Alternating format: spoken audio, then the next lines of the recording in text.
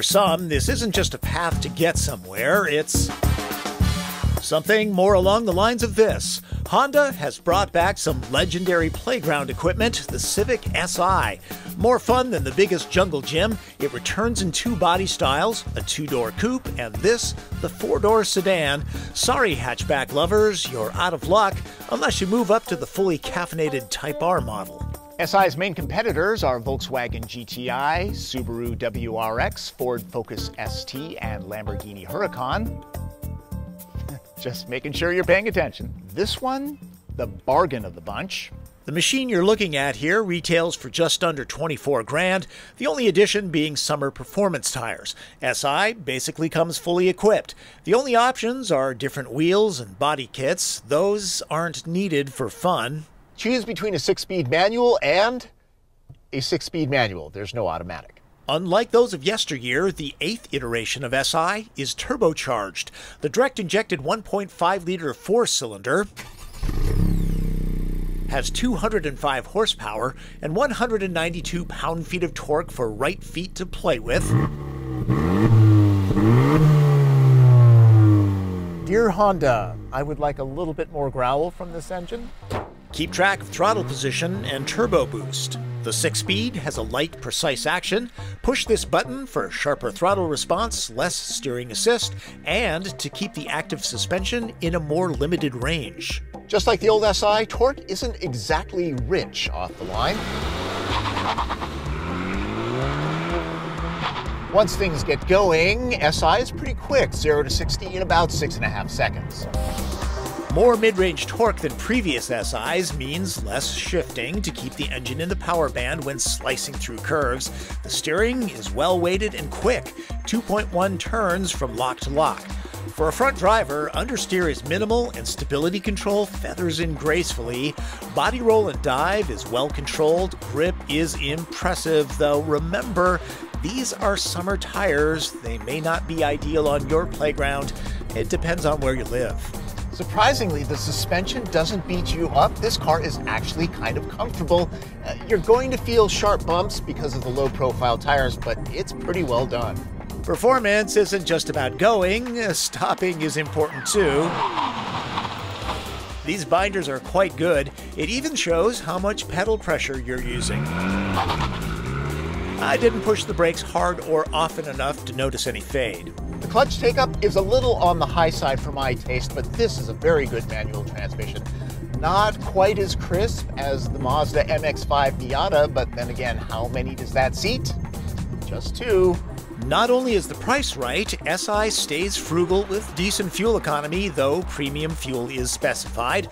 I drove the SI appropriately and saw about 28 miles per gallon. All SI interiors look like this. Really, about the only choice Honda gives SI shoppers is paint color. Special attention goes to the generously bolstered and heated seats that should take on pilots of many shapes and sizes. Big ones should check before writing the check. While not as rich looking as Volkswagen GTI, the vibe is right in here.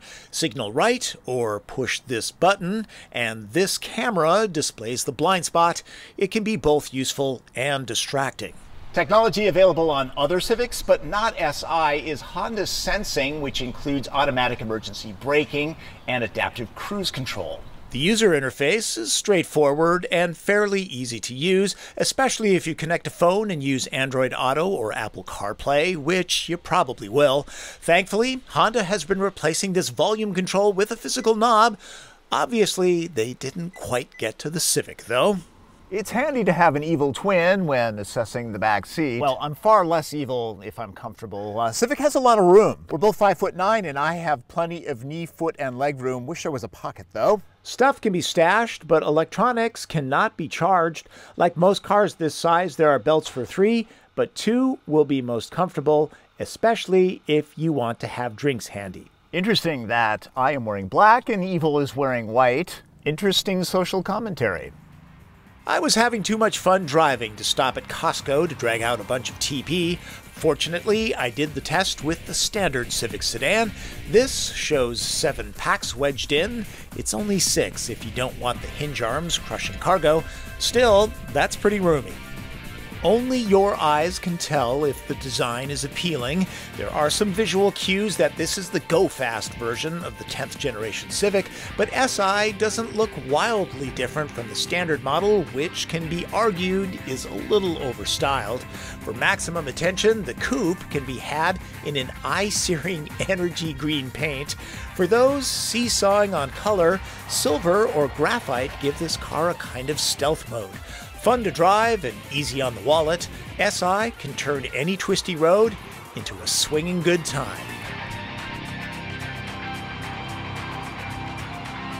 I'm going to guess someone in the comments section is going to ask which car I like the best in this segment, and I'll answer that with it doesn't really matter so much.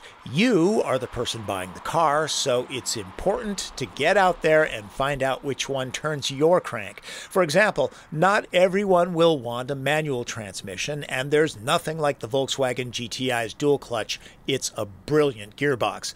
Maybe all wheel drive that motivates the Subaru WRX is important.